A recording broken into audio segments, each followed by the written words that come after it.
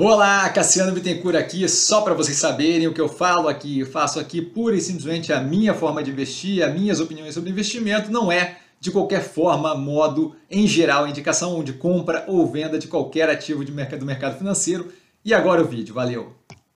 Olá, Cassiano Bittencourt, pelo Visão Estrategista, neste momento para falar de um ativo que eu gosto de ter é, sempre analisado, dado o potencial do ativo, é a falta de disponibilidade de acessar esse tipo de operação é, pela falta de grandes, grande quantidade de ativos assim.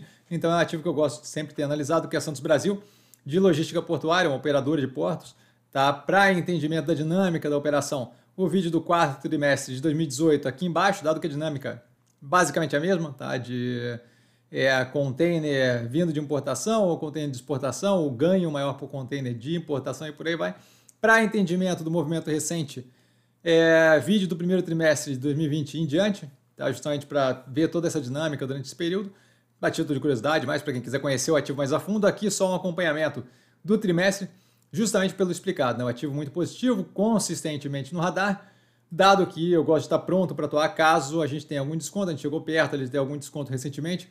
Tá? Então, ceteris paribus, próximo de R$ reais a ação começa a me interessar violentamente aqui o ativo. Tá? A gente já teve outras operações aqui nesse ativo.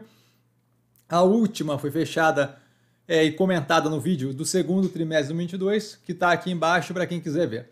Tá? A gente passa diretamente aí para um due diligence, onde a gente vê, não tem muito porque encher linguiça aqui, né? É os indicadores operacionais, tá? A gente vê dinâmica positiva, positiva estável em longo curso versus cabotagem. Cabotagem basicamente quando é é, transporte ali intra-costa brasileira e longo curso quando é para outros países, outros, outros portos, tá? É, que não brasileiros. Tá? E continuidade na melhoria no nível de handling versus transbordo. Transbordo quando para aqui para trocar para outro navio e aí fazer cabotagem, ou é, handling ali, no caso, quando de fato para, entra nos, no, no, nos storages ali, no, na, nas áreas de armazenagem, por aí vai, que é muito mais positivo para a gente. Tá? Movimentação de containers com um pouco mais de informação na tela. Tá? A gente vê os três portos ali, Tecom Santos, Vila do Conde e Imbituba. Para o pause, para quem quiser se informar um pouquinho mais, eu não vejo necessidade de ficar aprofundando aqui nessas partes, tá? é operacional que eles fazem muito bem. O TEV de veículos e logística na sequência, com armazenagem ali de, de grãos, se não me engano, de, de. Tá? Novamente, apenas para informação, quem tiver interesse o pause aqui é muito mais um acompanhamento do resultado, só para garantir que as coisas estão alinhadas. Tá? O do diligence mostra uma operação indo muito bem. Aliás, para quem quiser aprofundar mais na operação, é só olhar a quantidade absurda de vídeos que tem aqui embaixo, justamente acompanhando a operação até esse momento. A receita líquida com um crescimento de 5,7% year on year, quando eu falo trimestre. O EBITDA com um crescimento de 24,2% year on year. A margem vai a 42,3% versus 36% no mesmo período no passado, tá com evolução aí consistente, como vem sendo todo o trimestre.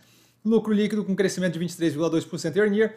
A gente começa a ver aí, inicialmente aí um delta redução aí na capacidade de evolução mais agressiva da operação, que é mais do que natural, né?